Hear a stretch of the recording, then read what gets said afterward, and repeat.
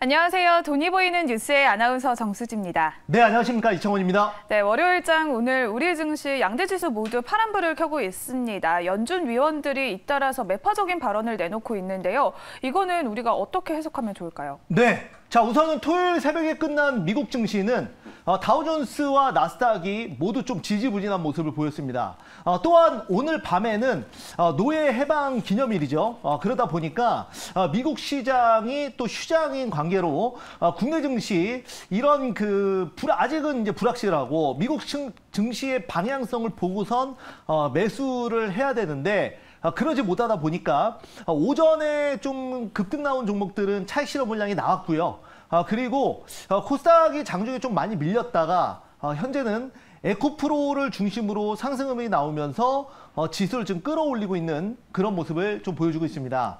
아, 국내 증시는 오늘도 보면은 어, 부익부 빈익빈이죠. 그래서 어, 수급이 들어오는 종목들 위주로 어, 수급이 좀 들어오고 있고 어, 지금 이제 연준의 매파적 그, 그 매파적인 발언은 어, 물론 이제 월가에서는 어떤 리스크가 될 수는 있으나 어, 이번에 이제 파월 의장의 발언 이후로도 어, 월가에서는 그 좀 무시하고 좀 저점에서 강한 그 수급을 넣듯이 어, 저는 어, 시장은 어떤 그 립 서비스보다는 현재 흐름에 현- 현재 흐름에 맞게 아, 갈수 있다라고 어, 말씀 좀 드리면서 어, 지금은 그 개별 주장이다. 그래서 어, 종목을 좀 잘 사는 것이 그 어느 때보다 중요하다. 이렇게 말씀 드려보도록 하겠습니다. 네, 개별 종목 장세가 이어지는 만큼 또 종목을 우리가 잘 골라봐야겠죠. 먼저 리뷰부터 해보도록 할 텐데요. 첫 번째로는 양자 암호 관련주로 KCS 소개를 해주셨습니다. 네. 먼저 살펴볼게요. 네, KCS는 금요일에도 잘 가고 오늘도 굉장히 양호한 모습 보여주고 있고요. 하지만 요거 조금 이 정도 올라가려고 지금 산 건 아니죠. 당연히 거래량 터지면서 급등하는 것을 보려고 어, 지금 준비를 하고 있고요.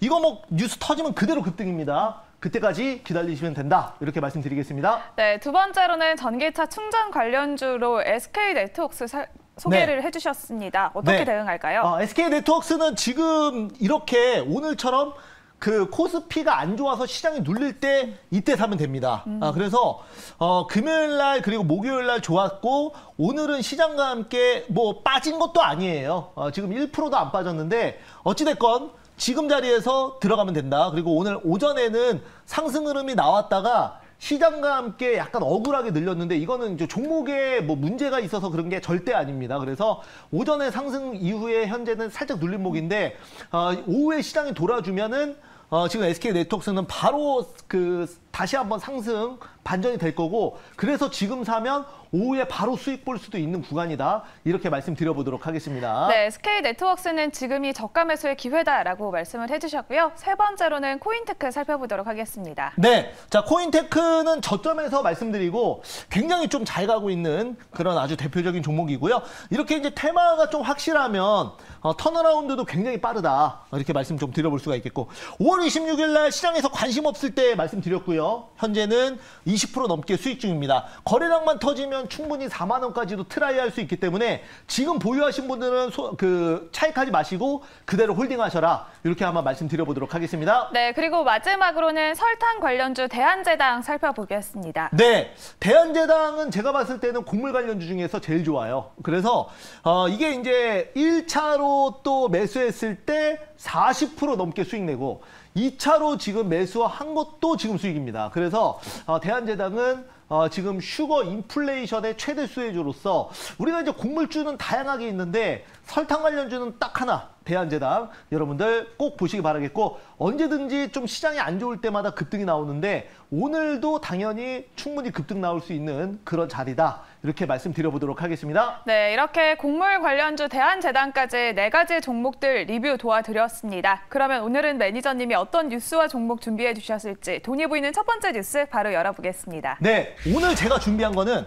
머스크 연내 인간 뇌에 컴퓨터 칩 이식 임상 시험을 시작한다. 이 내용을 가지고 나왔습니다. 네, 일론 머스크가 또 한 번 발언을 내놓았습니다. 관련주들 주목을 받고 있는데요. 뉴스 포인트 자세히 살펴보도록 하겠습니다. 네, 우리가 여러분들 일론 머스크 하면은 테슬라 자동차만 생각하는데 어, 사실 일론 머스크가 지금 굉장히 공을 들이고 있는 분야는 우주, 로봇 그리고 이런 어, 이제 인간 뇌에 관련된 어, 내용, 뉴럴링크 관련된 이런 산업들이 앞으로 미래 산업으로 굉장히 공을 많이 들이고 있습니다.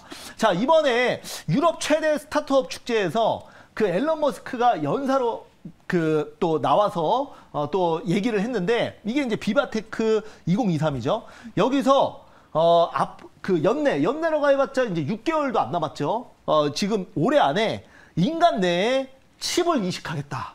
이렇게 밝혔습니다. 우리가 공상과학 영화에서나 나올 거라고 생각했던 그 일을 실제로 하는 겁니다. 실제로 근데 이게 이제 처음 하는 게 아니죠. 어, 앨런 머스크는 이미 그 원숭이를 통해서 동물 실험을 굉장히 많이 진행을 했고요. 이번에 또 인간의 뇌에 어, 진행을 하는 겁니다. 아, 그렇기 때문에 여기에 관련된 내용들 굉장히 또 핫이슈고 또 그 사실상 앨런 머스크가 전 세계에서 선두로 어, 지금 추진을 하는 거기 때문에 이쪽 관련 테마가 형성이 될 수 있습니다. 아, 그래서 여기 관련된 종목 한번 보도록 하겠습니다. 네, 이번에는 연내에 또 인간 뇌에 칩을 이식하겠다는 소식이 나왔습니다. 이 뉴스 속에서 어떤 종목 선택해 볼 수 있을까요? 네, 그래서 여기에 관련된 최선호주로서 링크제니시스 보도록 하겠습니다. 네, 링크제니시스도 FDA 승인 관련해서 주목을 받았습니다. 이번에도 또 다시 한번 주목을 받고 있는데요. 현재도 3% 넘는 강세 보여주고 있고요. 7,070원 선 지나가고 있습니다. 링크제니시스 포인트 자세히 살펴볼게요. 네, 우리가 아, 사실 이런 그 뉴럴링크 관련된 테마로 묶인 종목이 별로 없어요. 그래서 뭐 네오팩트나 이런 종목들 물론 있는데 재무 구조를 보면은 거의 3년 연속 적자기 때문에 어, 실질적으로 매매하기가 쉽지가 않습니다. 시가총액도 300억밖에 안 돼서 아, 그런데 이제 링크제니시스는 실적이 엄청나게 많이 나오는 기업은 아니지만 그래도 매년 흑자를 내는 기업이고 그리고 이제 신경 처리망 어, MPU 사업을 실제로 이제 하는 기업입니다. 그래서 어, 아주 대표적으로 이제 뉴럴링크에서 어, 인공칩 그 이식한다라는 얘기 분명히 나오겠죠. 앨런 머스크가 올해 안에 한다 그랬으니까 조만간 또 후속 보도 나올 거 아닙니까? 그러면 그 내용으로 링크 제니시스는 어, 바로 급등 나올 수 있다. 이렇게 말씀드리겠습니다. 자, 네. 그래서 아, 뭐 여러분들 꼭 보시기 바라겠습니다. 네, 링크 제니시스는 인공지능 신경, 신경망 관련해서 특허를 보유 중이기도 한데요. 가격 전략 어떻게 세워볼까요? 네, 그러면 한번 자리 보겠습니다. 제가 이제 여러분들 아직은 뭐 이렇게 시장에서 크게 부각이 안 됐기 때문에 어, 현재는 그냥 바닥권에 있는 그런 종목이라고 말씀 좀 드려볼 수가 있겠고요.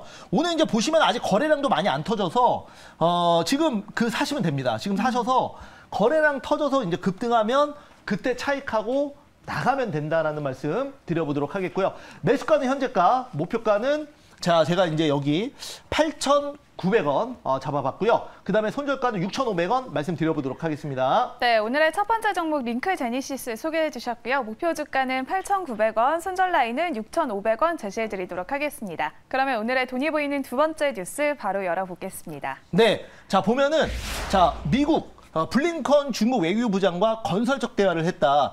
워싱턴 DC로 어, 초청을 할 예정이다라는 내용 가지고 나왔습니다. 네, 토니 블링컨이 미국 국무장관으로는 5년 만에 중국을 방문을 했습니다. 미중 관계가 개선될 것이란 기대감이 더 커지고 있는데요. 뉴스 포인트 자세히 살펴보겠습니다. 네, 자 보면은 어, 지금 이제 미국과 중국 관계가 어떤 실리적 외교로 인해서 조금씩 물꼬가 트이는 분위기가 나오고 있죠. 어, 불과 몇 달 전만 하더라도 어, 대만의 국지적 리스크로 인해서 어, 상당히 그 반도체 부분부터 시작해서 어, 굉장히 그 부딪히는 부분이 많았습니다. 그래서 어, 중간에 그 중국의 반도체 매출이 50% 이상 차지하는 국내 반도체 기업들이 굉장히 힘든 상황이었는데요. 어, 최근에 이제 그 반도체 수출 금지법을 유예를 했죠. 어, 그렇기 때문에 어, 또 국내 반도체 기업들이 상당히 수혜를 받고 여기에 이제 추가적으로 지금 앨런 머스크도 중국에 다녀왔고 빌 게이츠도 다녀왔죠. 그리고 이번에